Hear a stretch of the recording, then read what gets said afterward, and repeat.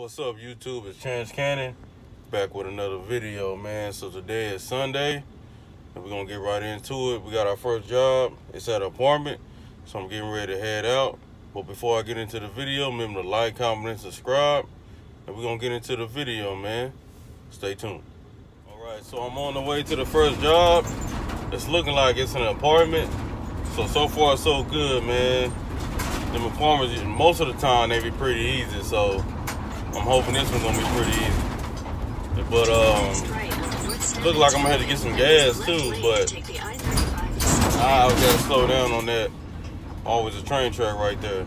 But yeah, it's looking like I'm gonna have to get some gas. But I think I can make it to the first job. So when I make it there, I'll hit y'all back. All right, so we back. I just finished the first job. Sorry I wasn't able to, you know, record anything.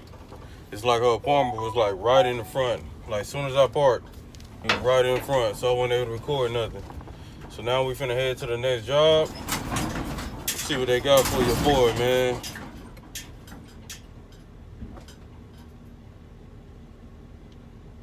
Okay, it's looking like it's a house and it's at 12. So we finna head that way. But before I head that way, I'm finna find a restroom, man. I gotta use it.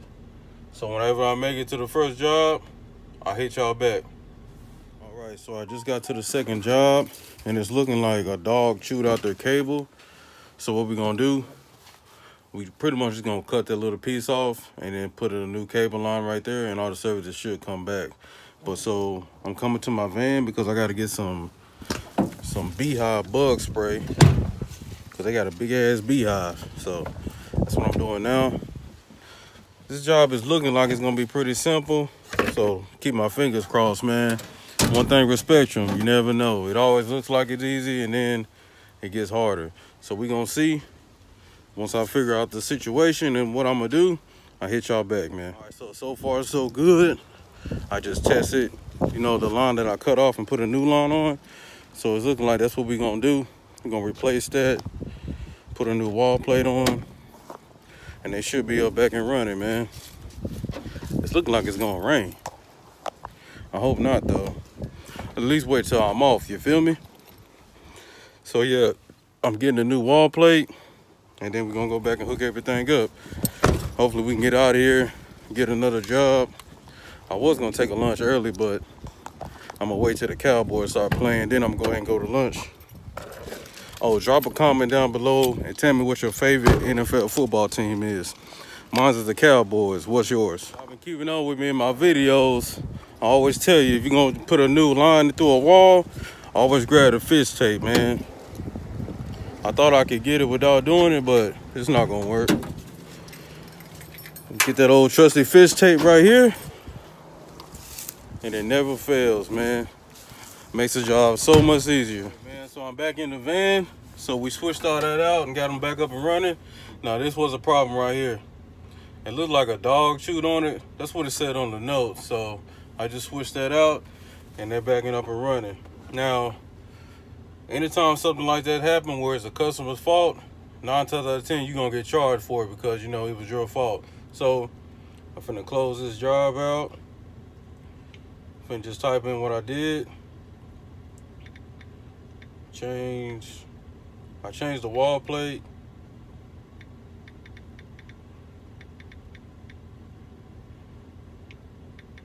And I changed the line out.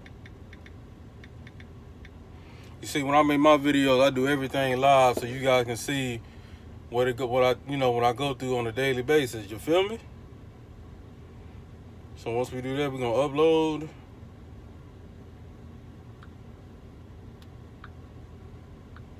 And then we're gonna put in, you know, you always on, always at the last part, you're gonna put in whether you're gonna charge them or not.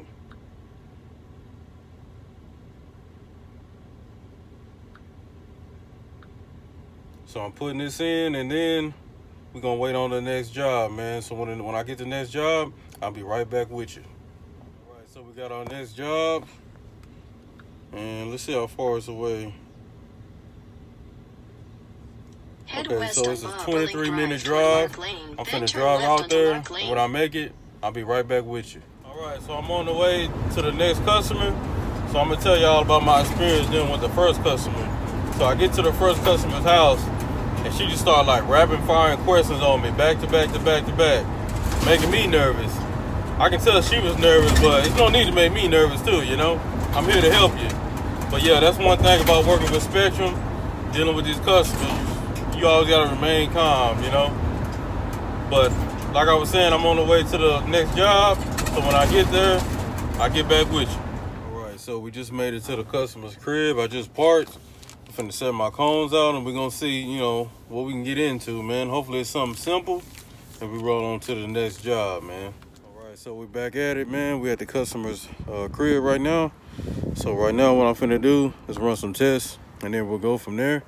So he was saying that um his internet was going in and out basically. So I'm thinking I'm gonna switch this splitter out right here